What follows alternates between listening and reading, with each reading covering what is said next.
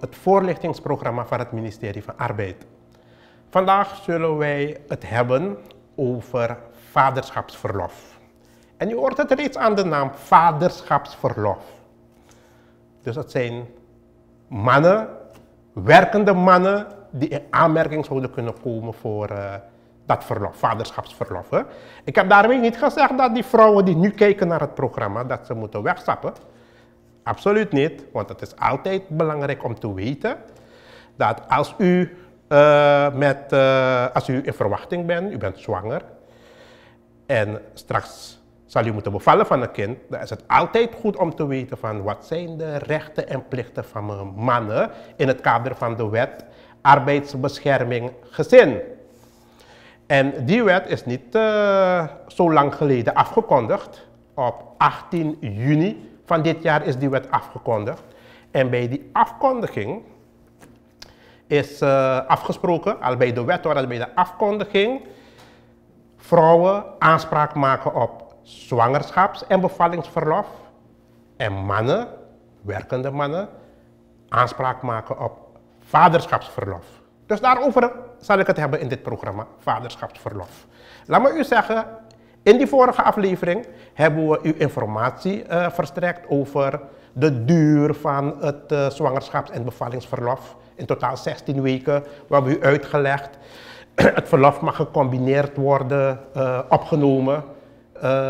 zes weken voor de bevalling en 10 weken na de bevalling. Of vijf weken voor de bevalling en elf weken na de bevalling. Of vier weken voor de bevalling en 12 weken, of twa en 12 weken na de bevalling. Dat is de aanzien van de vrouwen. Maar laat me u meteen zeggen, die mannen die nu kijken, dat vaderschapsverlof zal absoluut niet zo lang duren. Hè? Het is uh, veel korter, maar die informatie krijgt u in dit programma. Ik praat hierover met de jurist op het ministerie van Arbeid, Jinti Mangru. Jinti, welkom in het programma. Dank u wel, meneer Smit. Laten we beginnen met een vraag. Ja. Wat, wat die mensen willen weten, die mannen die nu -hmm. kijken, die werkende mannen. Hoe lang zal het vaderschapsverlof duren? Hoeveel weken of hoeveel dagen? In totaal acht dagen. In totaal acht dagen. Oké, okay. en hoe, zullen, hoe mogen die vaders die dagen opnemen? Heeft de wet ten aanzien daarvan richtlijnen gegeven of mag je het in één keer ja, er zijn, er zijn richtlijnen. Um, in principe hebben mannen nu al, um, voordat de wet in, in mm werking trad, nou, de wet is nog niet in werking getreden, mm -hmm. voordat die wet afgekondigd werd, mm -hmm. hadden mannen al recht op één dag verlof op de dag van bevalling van de vrouw, van ja. hun partner of hun echtgenote. En dat was volgens het burgerlijk wetboek. Dat bleef staan, dat bleef ja. gelden. Ja. Maar um, daarop, dus additioneel daarop, uh, hebben de mannen dus nog twee, zeven dagen gehad. En dus dat is samen dan acht dagen. En die andere dagen zijn um, drie dagen na, ja. dus uh, aansluitend op de dag van bevalling. Ja. En uh, ik dacht twee dagen nadat de vrouw terug moet keren, dus denk uh, na, na het bevallingsverlof, hm. wanneer die vrouw terug moet keren naar het werk. En dan weer twee dagen binnen vier maanden na de bevalling. In totaal, acht. totaal acht dagen. Okay. Dus deze wet heeft zeven dagen toegevoegd. Zeven dagen toegevoegd. En die ene dag die er reeds was, volgens het burgerlijke ja. wetboek. Uh, ten aanzien van die dag komen er nogal vragen naar binnen. Mensen die zouden we willen weten van... Als mijn vrouw bevalt op een zaterdag of op een zondag, in het weekend... Uh, waarbij er geen sprake is van een werkdag, zou ik nog, zou ik die werkgever, uh, of van die werkgever mogen eisen dat ik die dag alsnog opneem op een, een werkdag. Kan dat wel? Als je vrouw bevalt op een zaterdag of op zondag, in elk geval niet op een werkdag. Um, kan je die dag claimen? In principe niet, toch? Okay, uh, dus het heeft te maken met dus dat je daar wil zijn voor die bevalling ja. enzovoort. Maar het heeft ook te maken met het feit dat uh, hoe noem je het kind geregistreerd moet worden binnen een bepaalde ja. tijd, toch? Ja. En dus dat kan, dus je krijgt die ruimte. Maar als die vrouw in het weekend zou bevallen, dan... Uh, maar als het heeft te maken met de registratie, dat je kind moet gaan registreren bij, het, bij de burgerlijke mm -hmm. stand, dan zou je dus wel je werkgever kunnen vragen van, want dan heeft het met een werkdag te maken toch? Ja. En dat moet op een werkdag gebeuren. Dat je dus die dag dan wel kan opvragen. Dus maar, die, die ene dag Ja. die er al was. eh, ja, maar het is eigenlijk de dag van de bevalling en in principe kan dat niet. Zou ja. het niet, het zou Nee. wat mij betreft niet mogen horen, Nee. want het is in het weekend. hè, dus het hebben is, ze, het, het is ze een dag verloren, met, denk met ik. de dag hè? van de bevalling. Ja, ja, ja. En dan zou je verlofdag moeten Ze opnemen. hebben in elk geval die zeven dagen, toch? ja. En ik denk binnen die zeven dagen is wel opgenomen van want twee dagen meteen na de bevalling. Drie begrepen. dagen. Drie dagen. En dan kunnen ze wel naar, eh, eh, zeg maar, aangifte doen van de geboorte van het kind. Hè? Precies. Oké. Eh, dus ik hoop dat dat duidelijk is voor de vaders. Zeven tot acht dagen. En ten aanzien van de achtste dag is afhankelijk van op welke dag die vrouw natuurlijk eh, is bevallen. Als dat op een vrije dag is, dan moet u wel rekening ermee houden dat eh, u kennelijk geen aanspraak zal maken op die dag. Hè. Tenzij die werkgever zegt van luister nou, boy, ook ik zeg maar verkeer in die vreugde. Dus je mag die dag wel opnemen. Dat probleem nog dit. En eh, het verlof is betaald, doorbetaald vaderschapsverlof. Ja. Daaronder moet ik dus begrijpen dat die vaders eh, verlof opnemen en dat ze mogen rekenen op hun loon over Dat- die periode. Ja, dus dat het loon uitbetaald moet worden over die dagen. Het mag niet, eh, hun salaris mag niet ingekort worden. Toch? Dus Oké. eh, het is geen onbetaald verlof, het is betaald verlof. Oké. En we zitten nu in een overgangsfase. Die wet is intussen afgekondigd. Die wet treedt in werking op 18 september. Ja. Maar in die wet staat ook aangegeven dat eh, het recht op vrijstelling van dienst reeds al bij de afkondiging eh, in werking is getreden. Dus die mannen die eh, in de situatie zitten waarbij die vrouw zal bevallen, die mogen dus straks al aanspraak maken op eh, het verlof. Maar hoe zit het in deze overgangsperiode? moet, moet die werkgever ze betalen, doorbetalen over die verlofperiode. Eh, de wet praat over een fonds. Maar wat zal er in deze periode gebeuren, nog voordat die fonds operationeel wordt? Want volgens de wet wordt het fonds operationeel, ik dacht uiterlijk 18 november Ja. zou het operationeel moeten, Moeten zijn. zijn. Mhm. Maar dat is nog geen feit. Dus in deze overgangsperiode, hoe zouden vaders die nu kijken naar het programma, werkende eh, mannen, hoe zouden ze ermee moeten omgaan? Ja. In de overgangsregeling staat er dus dat het verlof al aangevraagd mag worden. Je bent niet verplicht, Ja, maar je mag het aanvragen. De werkgever zou dat moeten honoreren. En ehm, wel is zo dat het ehm, dan zonder loon zal zijn. Als de, eh, de werkgever, dus op die werkplek waar je bent, als die al vaderschapsverlof had, in, in zijn CAO-regeling of zo, als het al daarin opgenomen was en het ook doorbetaald was, dan geldt die regeling. Maar voor werkplekken die helemaal geen regeling hadden als het om vaderschapsverlof ging, die zullen dus de dagen wel moeten honoreren. Weliswaar zonder loon, want daarop zijn ze niet voorbereid, Ja. toch? Dus ehm, dan kunnen de mannen verlof opnemen, zonder dat ze dus voor die periode betaald hoeven te worden. Maar natuurlijk, als de werkgever daar oké mee is, dan, ehm, dan krijgen ze gewoon die dagen doorbetaald. Dus eh, het zijn minimale regelingen en overgangsregelingen. Maar alles wat daarop is, dus meer en beter geregeld dan wat de wet voorschrijft, is natuurlijk toegestaan. oké. Ja. Maar in elk geval maken ze Aanspraak recht, aanspraak op dat eh, verlof. Ja. En die werkgever is dus verplicht mee te werken om, honoreren, ze, om- ja. ja, om dat verzoek te honoreren. Ja, Oké. Er zullen dus eh, vaders eh, voor de beeldbuis zitten. En die zich zouden afvragen van, eh, hoe zit het in mijn case? Want ik heb wel een partner, maar ik zeg maar lief niet, ik ben niet getrouwd met, met, die, met die vrouw. Maar we hebben wel een relatie en ze verwacht binnenkort een kind van me. Maar zij woont bij haar ouders en ik woon bij mijn zeg maar, ouders. Maar kom ik ook in, aans- kom- ik ook in aanmerking voor eh, dat vaderschapsverlof? En je hebt sommige eh, Surinamers die, eh, niet sommige, een heleboel die met elkaar samenwonen. Er is geen sprake van een huwelijk, wonen met elkaar samen.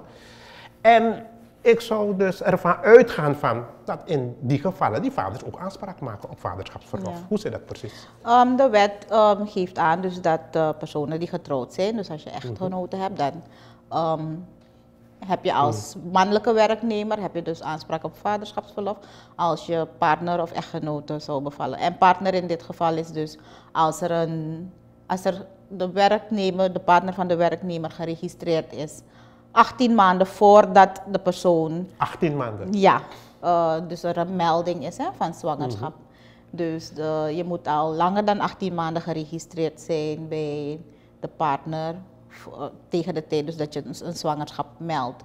En um, dus dat is alvast een voorwaarde. Mm. En het moet gaan om een duurzame uh, huishouding. Dus ja. dat betekent dus dat de twee mensen ingeschreven moeten staan op hetzelfde adres.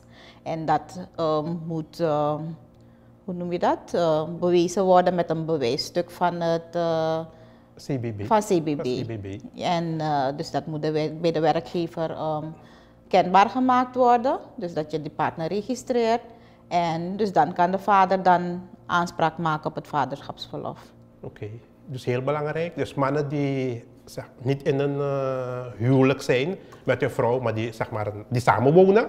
Ja. Die mannen, zoals ik het van Jinti heb begrepen, dus die mannen moeten nu, dus indien ze bij hun werkgever nog niet hebben laten, zeg maar, hebben opgegeven aan hun werkgever dat ze samenwonen, dan moet dat zo gauw mogelijk gebeuren. Uh, maar we gaan ervan uit dat als je samenwoont met iemand, met een, met een vrouw, dat je dat al hebt zeg maar, aangegeven bij je werkgever. Ten aanzien van deze wet, zoals ik het van Dinte heb begrepen, je dient je, zeg maar, ook bij CBB, dien, dien je dat te registreren, ja. dat je samen woont met je partner. Ja, en ze heeft net genoemd 18 maanden.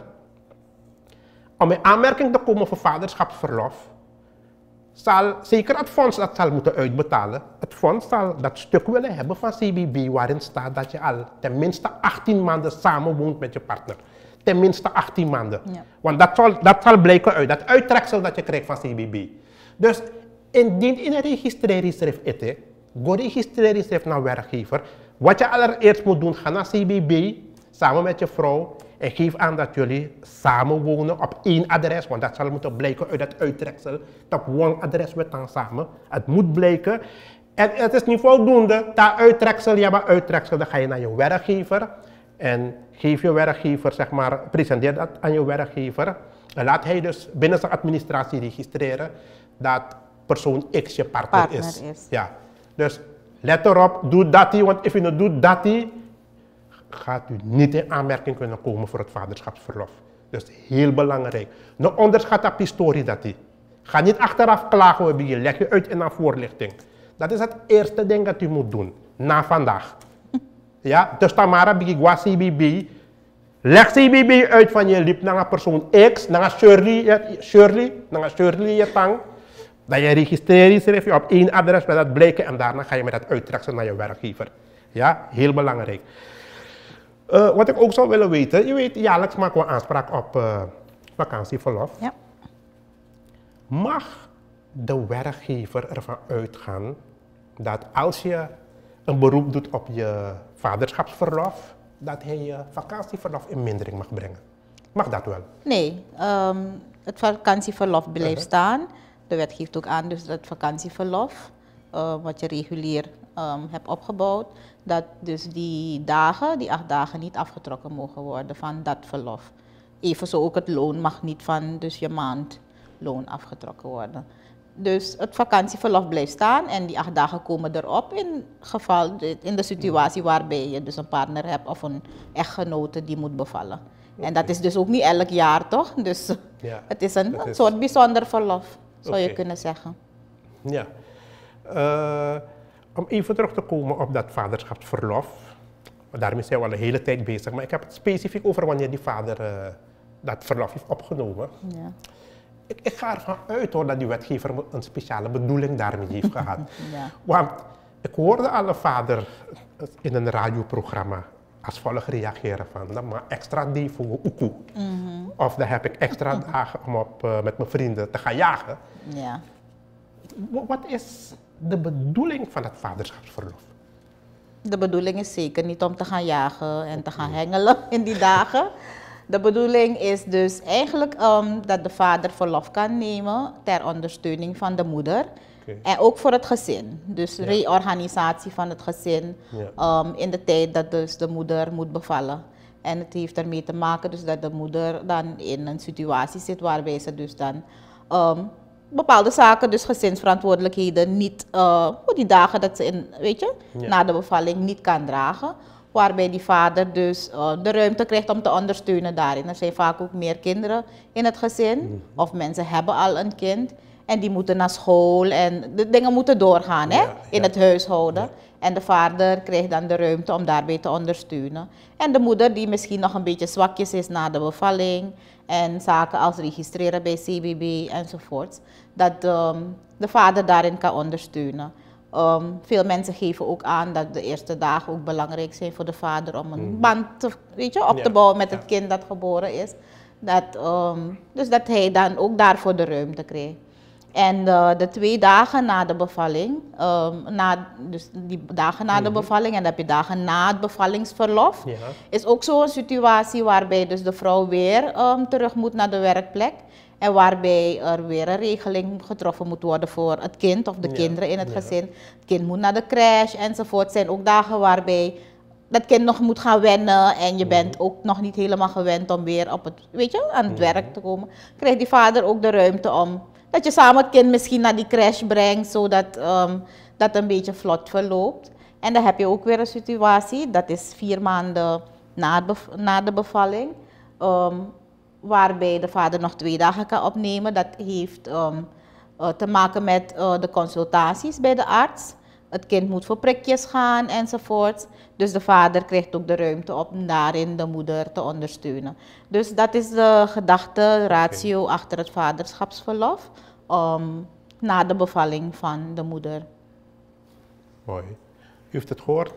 Of go onti of go. Maar uh, uh, is om jouw betrokkenheid binnen het gezin te vergroten, ja. Likpa. En uh, tik verantwoord toe. Maak gebruik ervan. Uh, we verwachten dat met deze wet vader veel meer betrokken zullen zijn bij de zorg van hun pasgeboren kinderen. Wat er ook kan gebeuren, kijk vooraf, ik klop het af, mijn hoop dat kan vinden plaats. Maar het kan gebeuren dat dat vrouw bevallen, ja. Een vrouw last Libi. Ze kan het leven laten uh, bij de bevalling. En wat er ook kan gebeuren, soms straks, ze, als, als, dat niet het geval is, dan kan ze ziek worden, moet ze worden opgenomen in het ziekenhuis.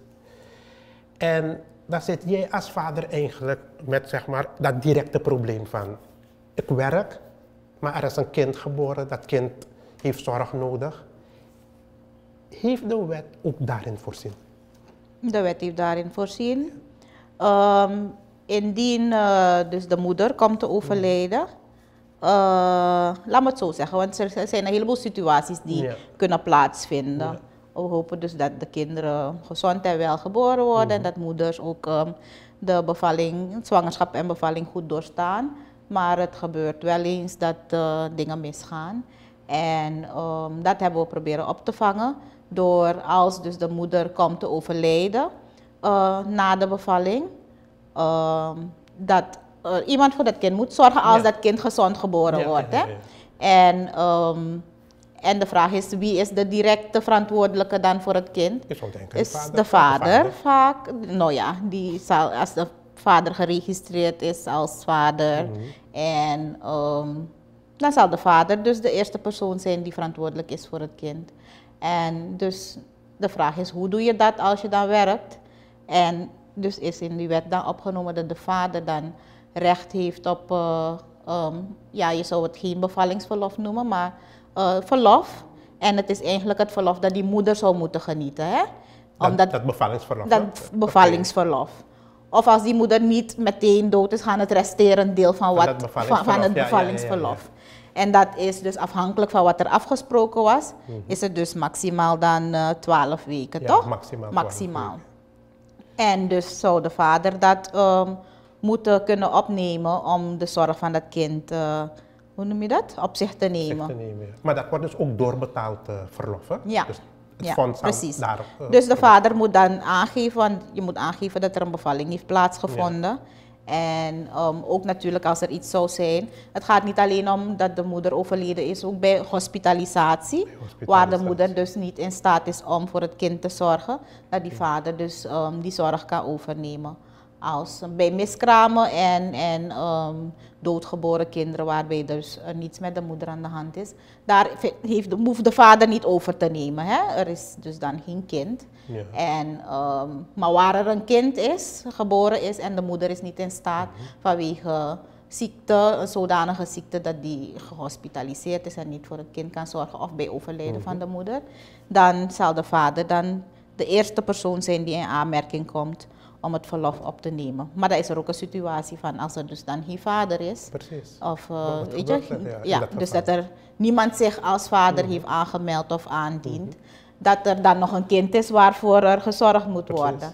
En de voorziening is dus dat, dat de uh, familie in eerste lijn of tweede lijn van de vader of van de moeder. Kan je dat even uitleggen? Ja. Familie eerste lijn en tweede lijn. Leg dat even uit, wat bedoel je Familie in precies? hè? eerste lijn is um, um, Broers, broers, zussen. En tweede lijn is, nee, afhankelijk van waar je zit. Ja. Maar eerste lijn, laat me het gewoon in, in, ja, in, algemeen zeggen.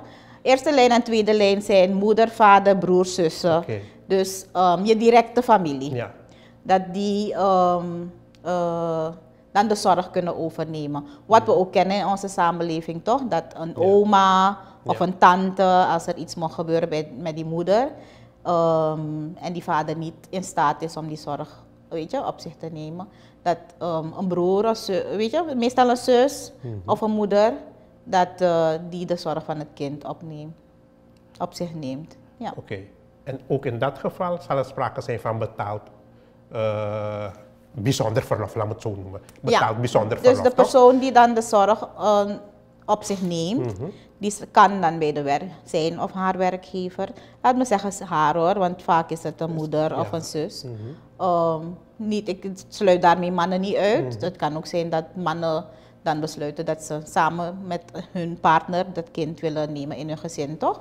En de zorg willen opnemen, op zich willen nemen. Um, dat die um, dat aangeeft bij de werkgever.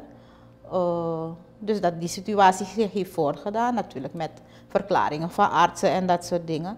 En dan kan die persoon dus aanspraak maken op het bevallingsverlof dat eigenlijk genoten zou moeten worden.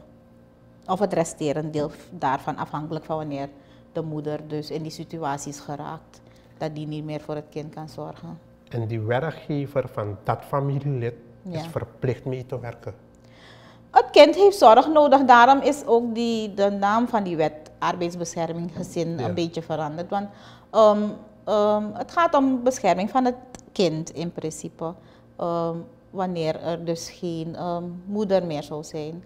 En de, de werkgever zou moeten meewerken aan, aan, aan die situatie.